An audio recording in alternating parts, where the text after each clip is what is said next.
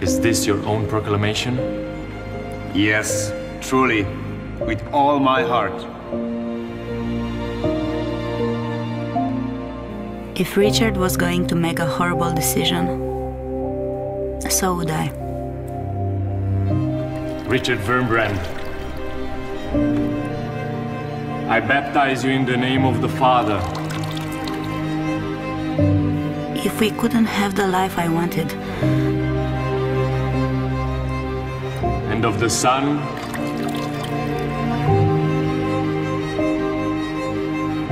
then we wouldn't have life at all. and of the Holy Spirit. Amen. And when Richard found my body, he would realize how destructive this faith of his was.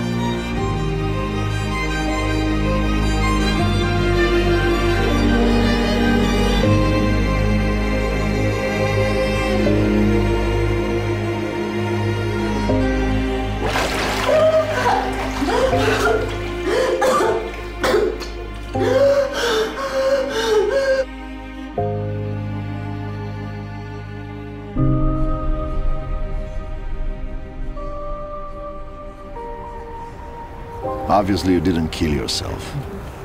Obviously. But then I had a thought. What if he's right?